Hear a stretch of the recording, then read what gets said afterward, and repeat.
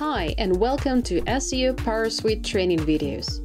Today I'd love to show you what's new in Link Assistant and how you can use the new features to boost your link prospecting. To create a new project, just enter the URL of your site.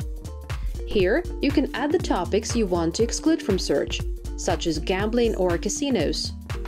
Click Create and the tool will instantly start building a list of link prospecting opportunities for you.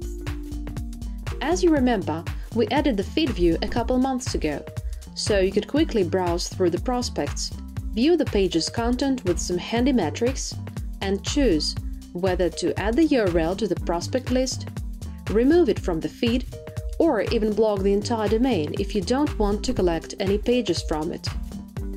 When you just create the project, the initial prospect search is based on the backlink gap method, where competitors are selected automatically.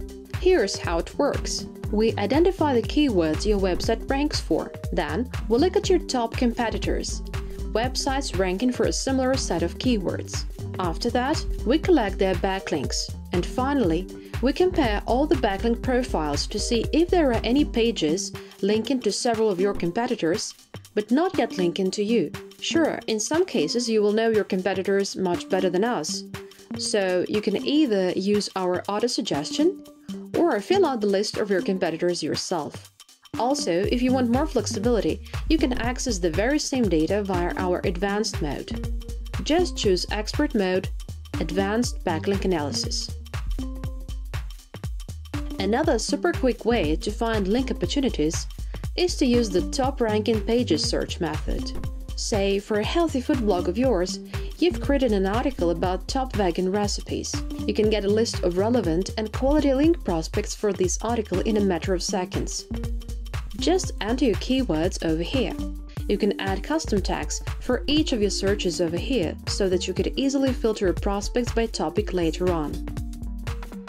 To get even more results, you can run other search methods. Guest posting websites, review platforms, similar websites, domains ranking for your target keywords, or go with the expert mode where you can set your own search criteria. Today, we've also added the table view to this module, so now you can quickly switch between the feed and the table view by pressing this button.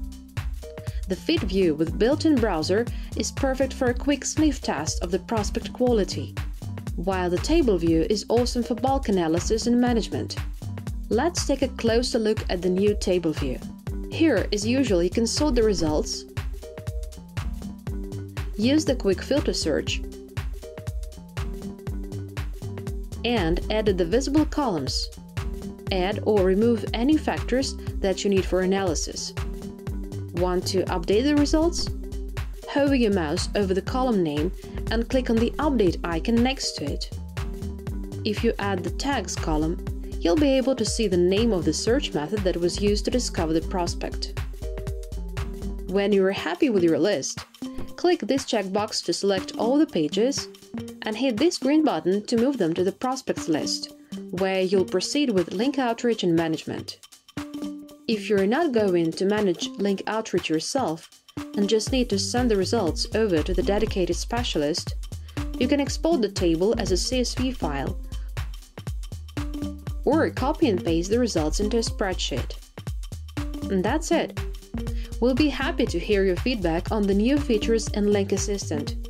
You can send us your messages to support at linkassistant.com or drop a comment below this video. Stay tuned!